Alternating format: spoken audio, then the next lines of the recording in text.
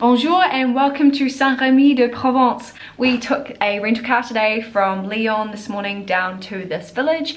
It's a quaint little countryside village in the south of France. So we're spending three nights here in a really cool hotel called the Hôtel Canto Cigalo.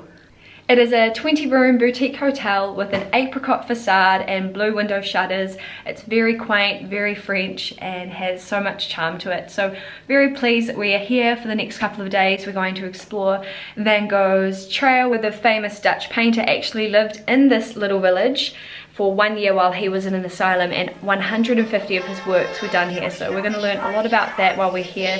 They have a famous trail that you can walk around and see recreated works. So we're going to go and check it out. I'll show you guys around. Let's go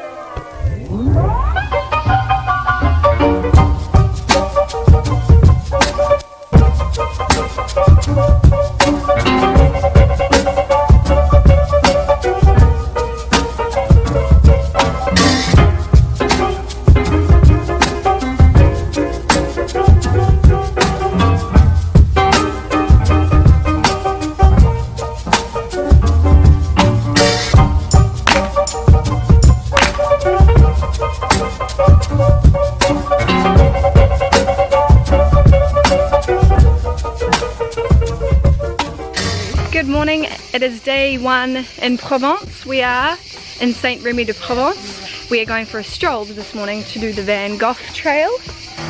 Stick around.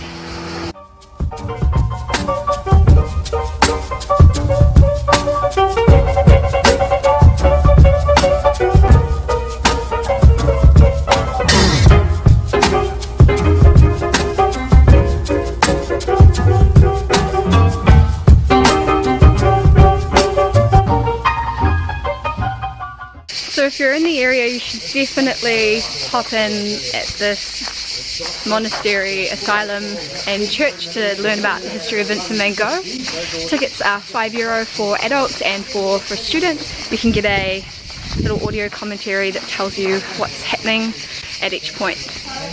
Vincent van Gogh was admitted here uh, for signs of mania and hallucinations. So when he arrived, he was subject to some non-conventional medical treatment that we would not have at all today. Straight jackets, um, whipping, cold water blast, hot water blast, just all sorts of things they thought that would expel the mad thoughts. Very, very odd things that we would consider today. But very interesting to be here where this was all happening.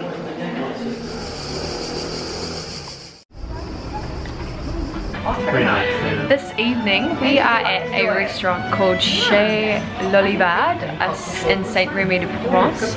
It's a really nice uh, rustic restaurant. We have some traditional food from the region and um, so far we've had our entrees. It's been very very good so we'll have our main soon. Here they come. So my tuna has arrived. Check that out.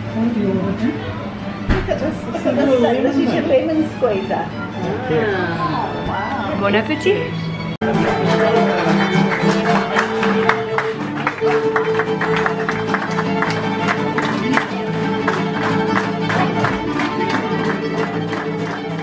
When you're in France and you see something that says New Zealand on it, check that out.